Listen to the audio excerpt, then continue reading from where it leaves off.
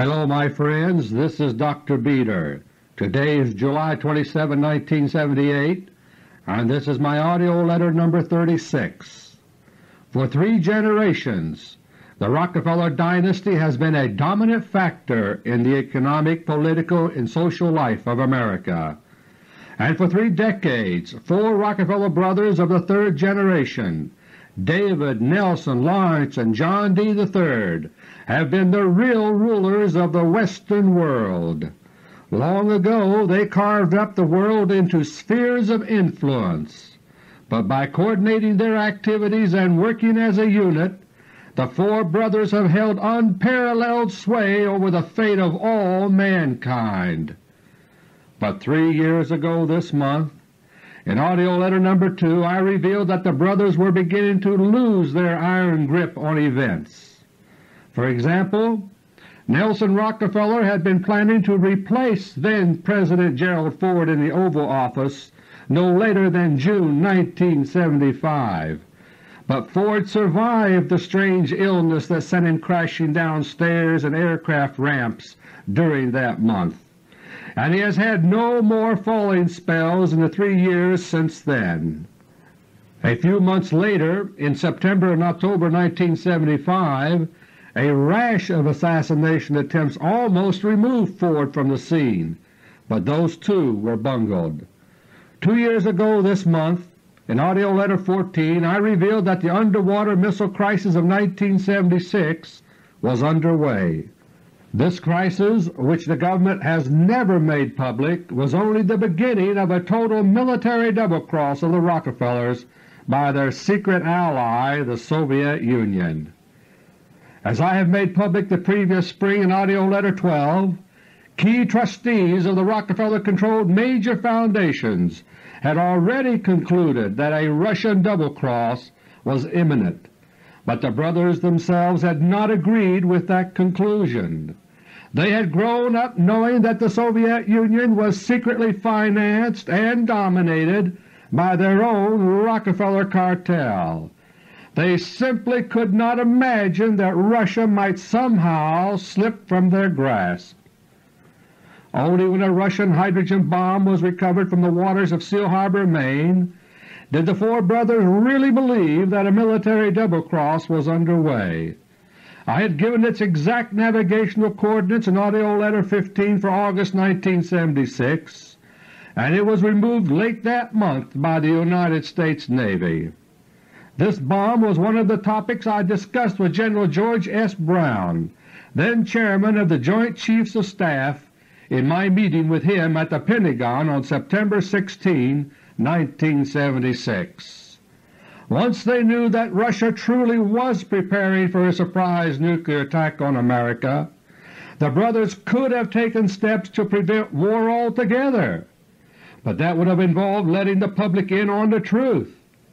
And as our Lord has said, the truth shall make you free. The Rockefeller brothers are not interested in your freedom and mine but in ever more power, so they tried to reinstate their alliance with the Soviets. And in order to reestablish the carefully controlled joint plan for nuclear war on American soil, the Rockefellers made tremendous concessions to appease the Kremlin. One of these concessions led to the opening of the doors for Soviet nuclear saboteurs to swarm all over the United States planting nuclear mines, large and small, at dams, reservoirs, public buildings, manufacturing plants, grain elevators, refineries, and many other targets. For that reason, at this time last year, my AUDIO letter was in a state of voluntary suspension. For three months, from late May to late August 1977, I cooperated with concerned citizens nationwide in an effort to bring about decisive exposure and official action to stop the wholesale nuclear sabotage of America. But those efforts failed, my friends, as I revealed for you last August when I resumed the AUDIO letter with issue No. 25.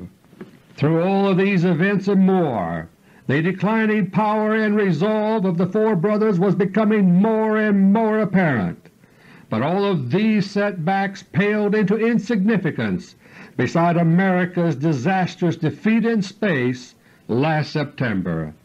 In the Battle of the Harvest Moon, the secret American moon base in Copernicus crater was knocked out.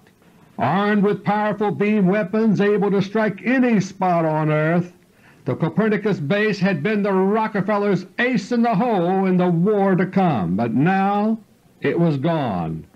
This decisive space battle still has not been admitted publicly by the government, but is the real reason for the many desperate anti-Russian moves now underway by America. My friends, we are plunging into a period of confrontation diplomacy on the road to war. Nations great and small are lining up and taking sides for the great conflict to come, just as happened before World Wars I and II. At the same time, the bone-chilling winds of Bolshevik revolution are sweeping across the land, in America, in Britain, and parts of Europe. To this end the manipulated collapse of Western monopolistic capitalism is accelerating, led by the fall of the gold-poor American dollar. The West is being thrown into the most critical period in all its history by the Rockefeller brothers. Yet this is happening as the final decline of the Rockefeller dynasty is accelerating. Last month I pointed out the historical fact that all true dynasties have a lifespan of only about 100 years.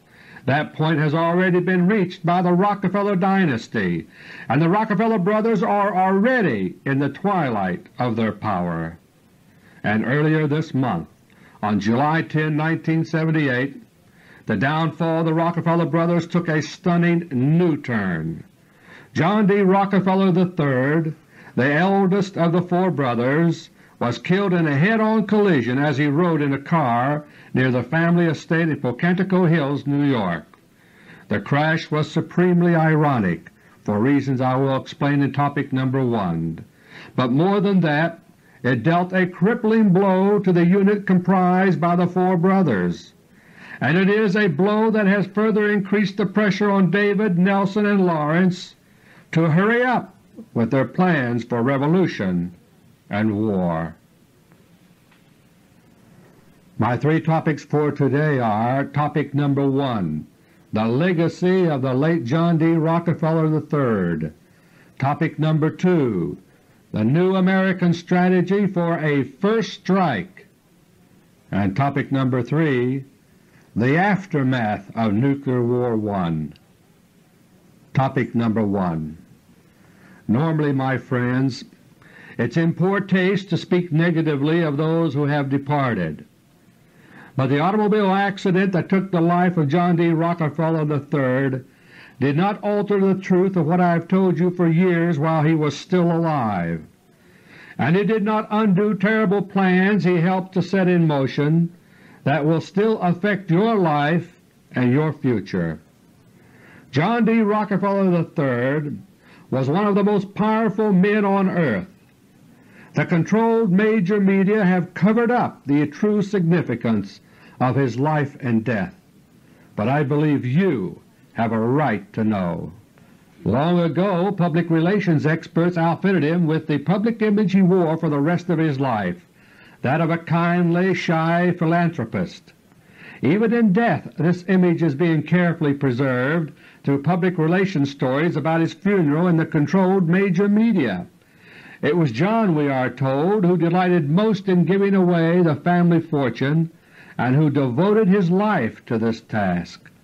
But, my friends, the fact is that John played an indispensable role in expanding the Rockefeller empire, coordinating his activities with those of his brothers. Of the four brothers it was John who specialized in several areas that are now of crucial importance to you. One area was that of the Rockefeller-controlled foundations, whose philanthropic halo has little to do with their true nature. Another area was Asia, especially Japan. A third area was that of Africa, and a fourth focus of John's was his so-called Second American Revolution which is now degenerating into a new Bolshevik revolution here in America. As the 20th century was dawning nearly eight decades ago, John D. Rockefeller Sr. was launching the first of his tax-exempt foundations. It was called the General Education Board. In 1904 the Board issued its first publication called Occasional Letter No. 1 by John D. Rockefeller Sr. and his shrewd assistant Rev. Frederick Taylor Gates. This document, for which I quoted over two years ago in AUDIO LETTER No. 10, made clear the true purpose of the Board. This objective was nothing less than to completely remake society according to Rockefeller blueprints. The same purpose has continued to motivate every foundation in the Rockefeller orbit since then, but each foundation specializes on some particular aspect of this overriding goal. In establishing one foundation after another, John D. Rockefeller Sr. coordinated his actions from the outset with Andrew Carnegie who was doing the same thing. In this way they avoided duplication and increased the scope of their joint efforts. In the area of so-called philanthropies, the Rockefeller and Carnegie interests were intertwined and gradually they all came completely under the Rockefeller umbrella. But on January 26, 1917, Senator Chamberlain of Oregon rose to give a warning on the floor of the United States Senate. He said, quote, The Carnegie-Rockefeller influence is bad. In two generations they can change the minds of the people to make them conform to the cult of Rockefeller or the cult of Carnegie, rather than to the fundamental principles of American democracy." Unquote. Today it is two generations later, and we hear no more warnings like this in Congress. The prophetic warning of Senator Chamberlain has come true. The Rockefeller-Carnegie conglomerate of foundations long ago unleashed evil forces directed at education, at government, at the very fabric of society, and for nearly four decades, beginning in 1931, it was John D. Rockefeller III who, of the four brothers, served as custodian of these evil forces. Starting with his trusteeship of the General Education Board and the Rockefeller Foundation, he extended his influence throughout the dynasty's foundation network, which he also enlarged. But now the evil forces unleashed so long ago are out of control. John D. Rockefeller III's coordination of foundations on behalf of his three brothers and himself has now led to double-cross and the commitment for a one-world government and nuclear war to come. Another area of attention became a preoccupation of John D. III even before the foundations, and that was Asia. It began in 1929 when as a fresh college graduate he traveled to Kyoto, Japan, under the sponsorship of the Rockefeller-controlled Institute of Pacific Relations or IPR.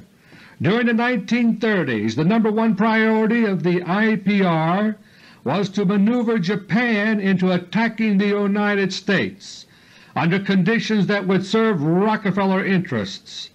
John D. III threw himself eagerly into this work and greatly expanded Rockefeller activity in Asia through other avenues as well. It was he who supervised the preparations of the Rockefeller Empire to take advantage of coming events in Asia. The IPR spawned the infamous Richard Sorge spy ring with headquarters at Lee, Massachusetts. After the war, Congressional investigations proved that it was the Sorge ring that brought about the Pearl Harbor attack. Guided by information from the IPR spy ring, Franklin Delano Roosevelt made all the necessary preparations to ensure that the desired Pearl Harbor attack would backfire on the Japanese. Two months ago in AUDIO LETTER No. 34 I explained the master strategy behind all this. Most members of the public at large had no idea that war with Japan was imminent, because the government did not want us to know. Perhaps the only clear public warning was that heard on November 9, 1941 by the Congregation of Christ Church in Alexandria, Virginia. The rector, Bishop Wells, had heard the news only three days earlier from Norman Davis, then President of the American Red Cross, as I told you in detail in AUDIO LETTER No. 22. Davis was very close to FDR and told Bishop Wells that war with Japan would erupt within five weeks. Bishop Wells, shaken by this news, immediately alerted his congregation. Four weeks later the Pearl Harbor attack took place. When war broke out, John D. Rockefeller III promptly made himself assistant quote-unquote to the same Norman Davis who had told Bishop Wells of the coming war with Japan. From there John moved from one position to another, setting the stage for a complete Rockefeller takeover of Japan after the war. As soon as World War II ended, John D. Rockefeller III and his entourage swooped down upon the ruins of Japan. To a people destitute in the aftermath of war, Financial resources of Rockefeller proportions can buy almost anything and everything, and they did just that. Soon the mammoth Rockefeller cartel of thousands of Japanese enterprises, the Zaibatsu, began emerging. Much of the early industrial rebirth in Japan under Rockefeller control was in the area of electronics, for which the Japanese have an enormous aptitude. One of the most famous Rockefeller enterprises in Japan in this realm is that of Sony, whose products have penetrated every nook and cranny of the world. Sony, my friends, is not a Japanese name or word, but an acronym. It stands for the former Standard Oil of New York. Today Japan is making a bid to become the number one power in electronics in the entire world. At the funeral of John D. Rockefeller III this month, more than half of the cables and telegrams came from associates in Japan. But John's expertise in the Far East went far beyond Japan to include all of Asia. Today, as the United States is trying to play the so-called China card against Russia, Japan is being pushed into Red Chinese arms to assist in this desperate strategy. But the fact is that Red China has no intention of establishing a real alliance with the United States against Russia. Instead, China is playing the America card, knowing that Russia is now the foremost military power on earth. The Chinese hope by their current strategy to extract the best possible terms later as the price of a restored alliance with Russia. Japan, too, squeezed between East and West, is trying to follow a course that is not at all what the Rockefeller brothers meant to accomplish. With very active treaty bargaining underway now between Red China and Japan, China has been trying to include a clause against regional domination by a single power, a clause which is considered anti-Russian by the Kremlin. Moscow has singled out this one clause as its only objection to a Sino-Japanese treaty, and now Japan has decided to insist on including an auxiliary clause that clearly states that the Regional Domination Clause is not directed against any specified third power. In this way Japan hopes to satisfy both Russia and China. In this way Japan is becoming the pivot point for the giant new Asian axis I first warned about five years ago in my book The Conspiracy Against the Dollar. And so the legacy of John D. Rockefeller III lives on after him in the Far East. After five decades of destructive meddling in Asian affairs, he has suddenly left the scene just when his brothers need him most. In Asia as elsewhere the brothers are losing control, and with John gone this trend will start accelerating. Three decades ago the Rockefeller dynasty was only beginning to cash in on the takeover of Japan by means of World War II. But already John D. III was looking around hungrily for the next great prize to devour. he found what he was looking for in Africa.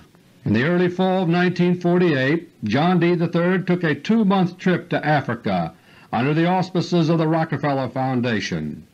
He returned bubbling over about the unparalleled natural resources of Africa and the great commercial and industrial potential of the continent. In an interview with the New York Times on November 14, 1948, he explained his trip as having been motivated by great concern over the health and welfare of the natives. But his true preoccupation was economic and was so strong that he almost gave it all away during the interview. Time and again his public relations counselor had to bring him back to the supposed subject of native welfare so that the New York Times would have something to quote on that topic. As always, the strategy of Rockefeller takeover in Africa was to involve turmoil and bloodshed. Africa's troubles really began after John's trip there 30 years ago. It was not long until he publicly revealed what lay ahead for Africa in a speech on January 18, 1951. He said, quote, it will not be many years before the same kind of upheaval now appearing in Asia will be witnessed in Africa." Unquote. And he was true to his word. Soon words like Mau Mau entered the language of a horrified world as incidents of interracial butchery and terrorism began to multiply. European colonial holdings in Africa began to disintegrate. New nations sprung up in their places with nominally black governments. But in every case the new black governments found it necessary to bring back the white man to manage and develop the economic resources, and Rockefeller multinational corporations swooped down and took over established mining and other activities with virtual freedom from effective local government interference. Until recently the Rockefeller inroads into Africa were being accomplished in secret alliance with the Soviet Union. But since the Battle of the Harvest Moon ten months ago, all this has changed.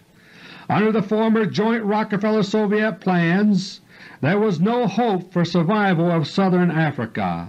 The Rockefeller brothers and their then Russian allies were bent on complete domination in Africa and elsewhere. But the type of domination sought by the Kremlin today is far different in character. As a result, if Southern Africa can hold out against the buffeting that has already been set in motion, there is now a new ray of hope that did not exist before. At the present time Rhodesia is on the front lines, and fighting is underway now near Salisbury, the capital. Two guerrilla forces are involved. One under Robert Mugabe is based primarily in Mozambique and is Soviet-sponsored. The other, under Joshua Nkomo, is based in Zambia and is Rockefeller-sponsored. And just as the Rockefeller-Soviet alliance has been terminated elsewhere, it is a thing of the past in Africa. This month 15 of Mugabe's officers were recruited away from him by Nkomo with large amounts of Rockefeller money. By the same token, Nkomo has just executed a high-ranking officer in his ranks for being pro-Russian. Increasingly, the Mugabe and Nkomo factions will be fighting each other as proxies of Russia and the United States. Each will race to beat the other to try to take over Rhodesia. Ultimately, the legacy of John D. Rockefeller III in Africa will be a complete failure, with Russia picking up what is left of the Rockefeller chips. Africa, like the rest of the world, will be forced to make its peace with Russia. But the domination of Africa by the new breed in the Kremlin today promises to be less drastic and destructive than what would have taken place under the Rockefeller corporate socialist dictatorship. The manner in which John D. Rockefeller III met his death was supremely ironic in view of his role in the ravaging of Africa. The chief Rockefeller agent in Zambia today in the war against Southern Africa is United States Ambassador Stephen Low. It was his nephew, 16-year-old David Lowe, who died along with John D. Rockefeller III when their cars crashed head-on July 10, 1978. There remains one more critical realm in which the legacy of John D. Rockefeller III must be mentioned. I refer to a so-called Second American Revolution, which is now being transformed into a Bolshevik revolution here in America. Three years ago this month in AUDIO Book Talking Tape No. 4 I exposed the secret new Constitution for America that had been written for the Rockefeller brothers. The product of 10 years, 100 participants, 40 drafts, and many millions of dollars, the secret new Constitution was completed in 1974 by a Rockefeller tax-exempt foundation. The secret Rockefeller Constitution is a parody of what our forefathers created in 1787, using high-sounding phrases. It is a blueprint for complete corporate socialist dictatorship. The propaganda campaign to set the stage for acceptance of the secret new Constitution was the responsibility of John D. Rockefeller III. In 1973 he published a book entitled The Second American Revolution, and articles and interviews on the subject followed. Then on March 31, 1975, a full-page ad entitled A Bicentennial Declaration appeared in the New York Times. The ad was sponsored by John's so-called National Committee for the Bicentennial Era and paid for by Rockefeller corporations. It was repeated in other publications nationwide and was intended to be an echo of the Communist Manifesto as a starting gun for change. That campaign fizzled in its original form, but all the machinery of revolution is being cranked up again now. This time the goal is a Bolshevik revolution here in the United States with the Rockefeller brothers in the driver's seat.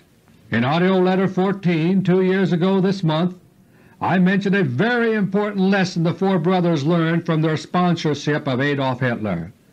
Explaining the success of the Nazi revolution from the vantage point of 1936, Hitler said, quote, It is not enough to overthrow the old state, but that the new state must previously have been built up and be practically ready to one's hand." Unquote. That is why, as I revealed last December 1977, in AUDIO LETTER No. 29, governmental positions at all levels in the United States are fast being packed with Bolsheviks, many of them recently expelled from Soviet Russia. When the revolution takes place soon, they will be in a position to take over, under the leadership of Nelson Rockefeller of course. Economically the first winds of revolution are already stirring across the land. Strikes in key industries, and public services are becoming rampant, and as the cutting edge of the Bolshevik Revolution, the so-called taxpayers' revolt is already under way. Americans have forgotten that it was the cry of down with taxes, no taxes, that the Bolsheviks used in 1917 to help seduce the Russian people. So cleverly is this being done now that it has been portrayed as a conservative cause, and Americans are on the verge of stampeding to their own slaughter. My friends, earlier this month John D. Rockefeller III was killed in a head-on collision on a highway, but his surviving three brothers are driving our entire nation toward a fatal head-on collision with the Soviet Union. In a harshly worded article in Pravda only 12 days ago, Russia warned the West that we are now riding quote, a tide that is carrying those who swim in it toward the cliffs of confrontation." Unquote. Topic number 2 Earlier this month on July 12 an unusual high-level meeting at the White House made some news. Key members of Congress had been summoned there by Jimmy Carter to discuss public disclosures of top-secret information. Present from Congress were ranking members of the Senate and House Committees on Intelligence, as well as Democratic and Republican Party leaders. In addition, the meeting included Secretary of State Vance, Secretary of Defense Brown, National Security Chief Brzezinski, and Admiral Turner, the head of the CIA. After the meeting, Senators who were interviewed fumed as usual about damage to national security quote-unquote due to disclosures they refused to identify. But the key reason for this strange meeting is reflected in the following line from the New York Times report about it that day. Quote, Today's meeting reportedly was originally scheduled for May or early June, when the Administration was concerned about the disclosure of information in connection with the downing of a South Korean airliner in the Soviet Union." Unquote. My friends, the disclosures that provoked the White House meeting were those in my AUDIO LETTER No. 33 of three months ago. In that broadcast I told you the complete story about the strange case of Korean Airlines Flight 902. It strayed into militarily sensitive Soviet airspace and was shot down while Secretary of State Vance was in Moscow. In my AUDIO letter for that month I revealed that the Korean airliner episode was not accidental, but was an intelligence mission for the CIA, and I told you in detail why it was necessary. I told you these things, my friends, because you have a legitimate right to know. The Carter administration is boiling mad at me now for telling you, and would like nothing better than to silence the Dr. Beter AUDIO letter. Failing that, the Government would like to cut off my sources. That was the underlying motive for the White House meeting of July the 12th. But, my friends, my most important intelligence sources are far higher than those currently available to any committee on Capitol Hill, and I can assure you that I told you nothing about the Korean 707 incident that was not already known within the walls of the Kremlin. As I told you in AUDIO LETTER No. 33, the United States no longer has any spy satellites in orbit that can observe the Soviet Union. A year ago this month, on July 17, 1977, the first in the new generation of Russian killer satellites called Cosmos interceptors was launched. Called Cosmos 929, it was manned and armed with a charged particle beam weapon, a weapon which the United States tried but failed to develop. After two months of painstaking checkout and testing, it was used for the first time against an American target on September 20, 1977. As an American spy satellite passed directly over the Petrozavodsk Observatory in northern Russia, it was blasted into an enormous fireball in space by Cosmos 929.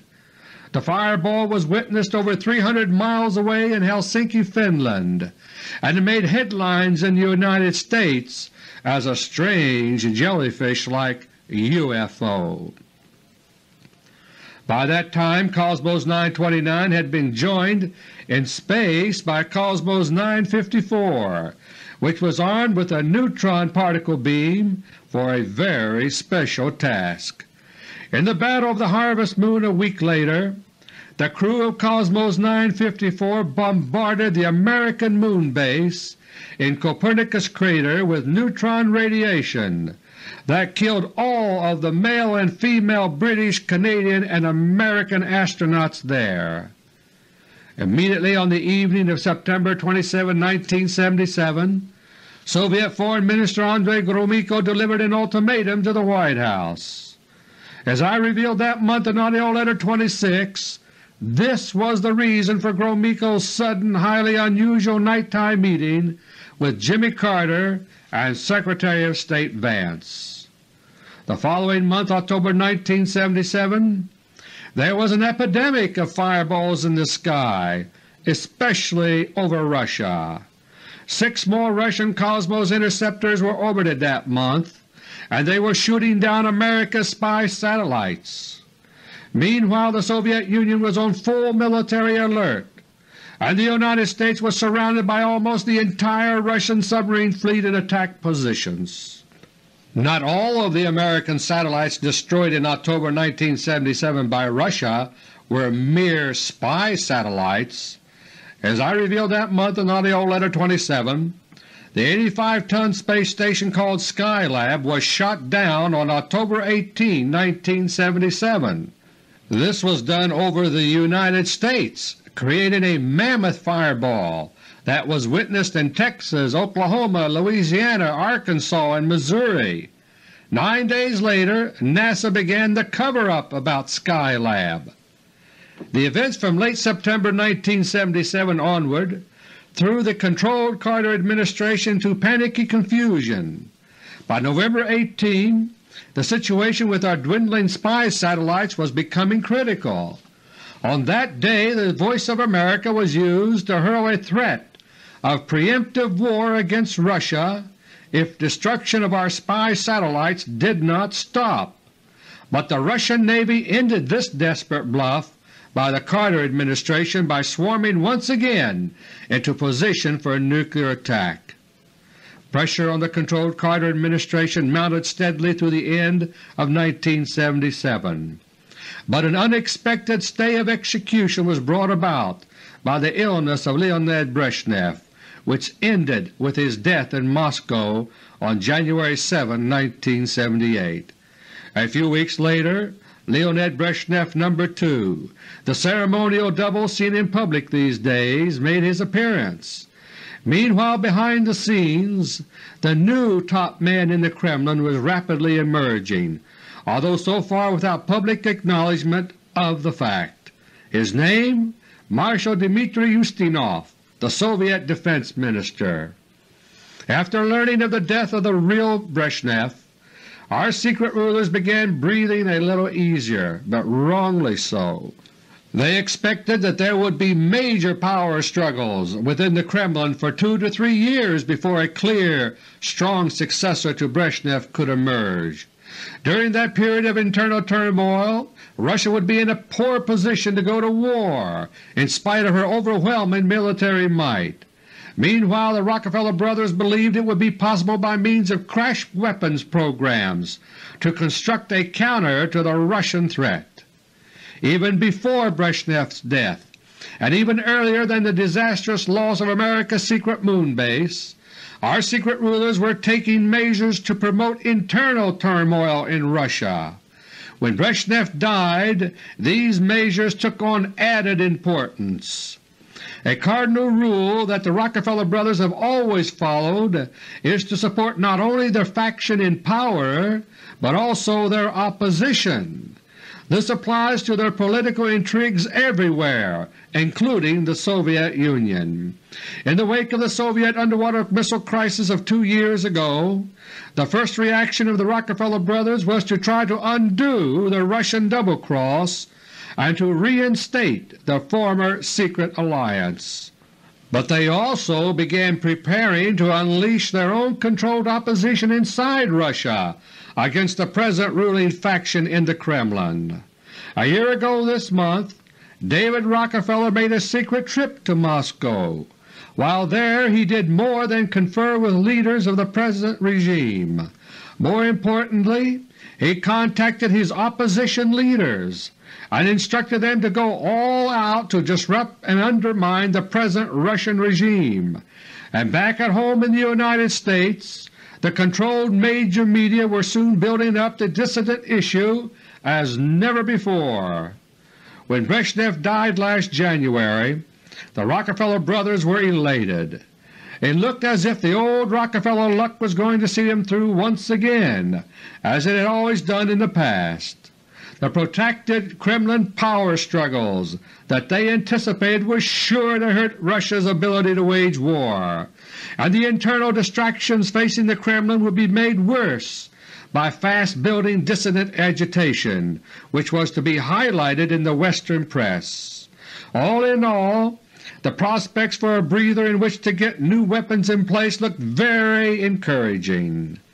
But our secret rulers badly underestimated their Kremlin adversaries. The Rockefeller brothers simply do not understand the self-styled spiritual communists who run Russia today, about whom I first told you in AUDIO LETTER No. 28. They have an unprecedented unity of purpose and mutual respect that unites them, and as a result Russian rulers were able to achieve a transition to a workable new structure of relationships within two months after Brezhnev's death. And so six months to the day after Gromyko delivered the Harvest Moon ultimatum at the White House, the new Kremlin leadership renewed that ultimatum. On March 27, 1978, Pravda warned that the United States was about to have its last chance to accept a SALT II accord, which was to be our surrender treaty. The Carter administration and its Rockefeller bosses were stunned.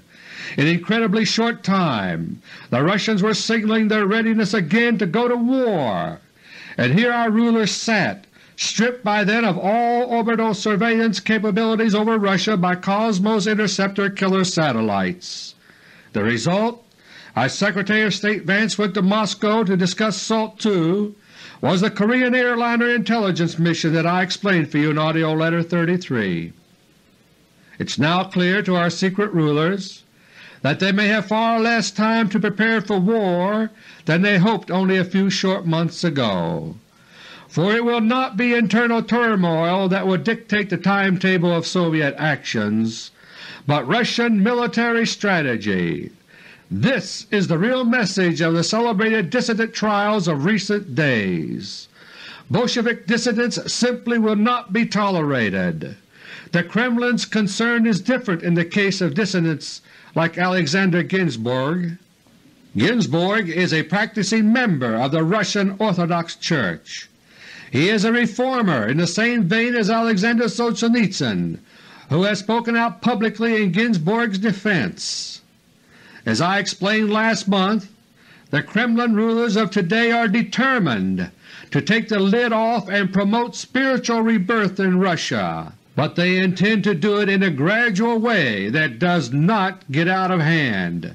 And so our secret rulers, the Rockefeller brothers, are finding themselves checkmated at every turn by the Russians. Crash weapons projects are under way, but there's no guarantee that there will be enough time for any of them to bear fruit.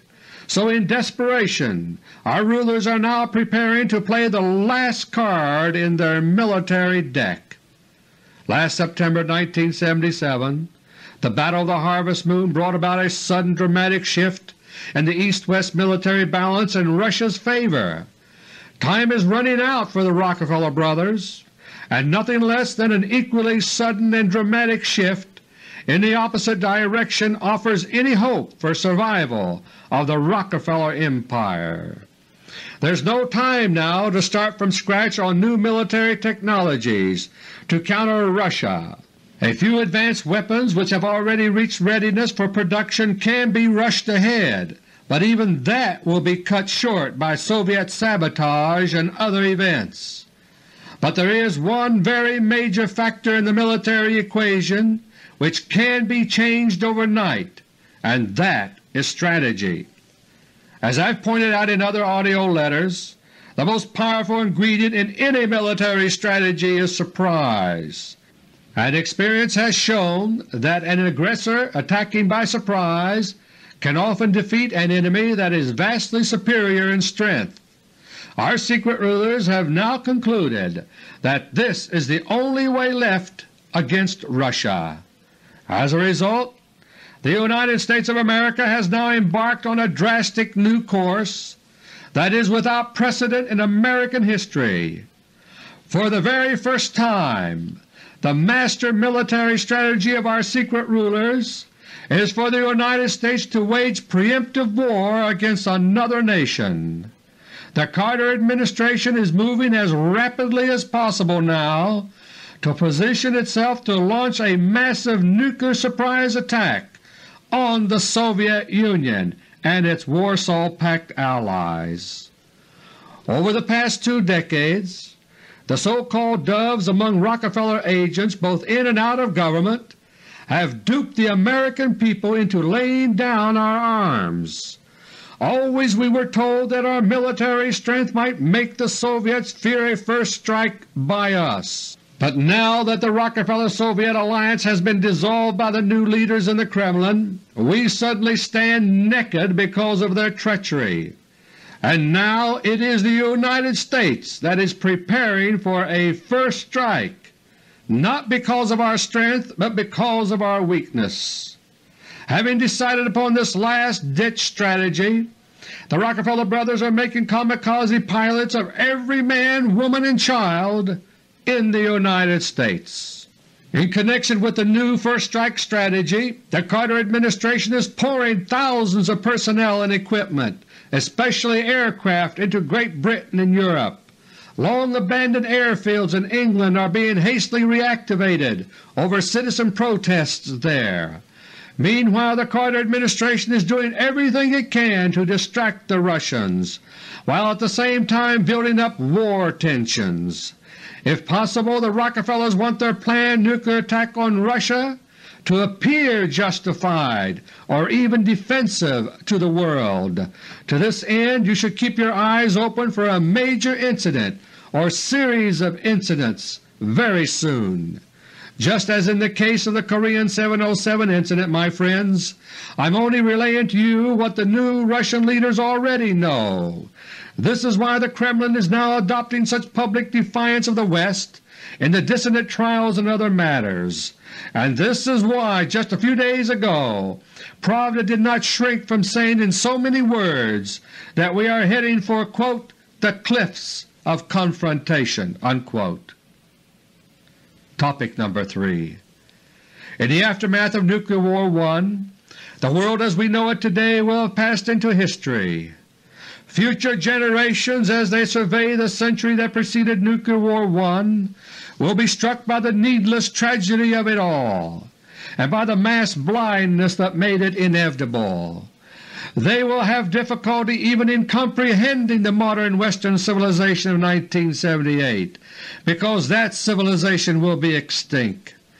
But they will read, they will study, and they will learn. Historians of the future of course will be able to see clearly what is only dimly perceived today in 1978. They will be able to explain to their readers how, in the final months before Nuclear War I, both the United States and the Soviet Union adopted a preemptive war stance.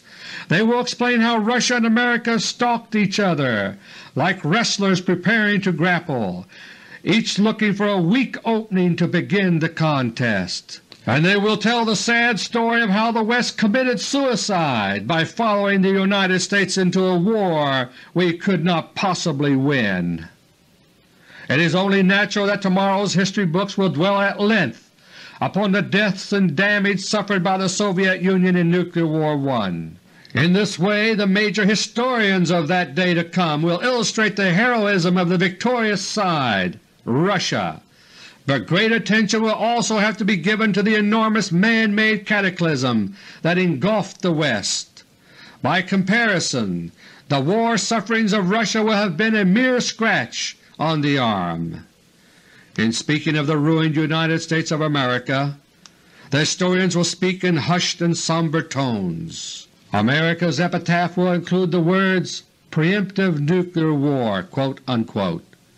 It is this final suicidal American strategy that history will blame for the completeness of America's destruction. This suicidal strategy, my friends, has been brought about by the very forces of Bolshevism, whose absolute eradication has been vowed by the spiritual Communists who rule Russia today, and history will relate that this plan will have removed the last ounce of restraint from Kremlin actions.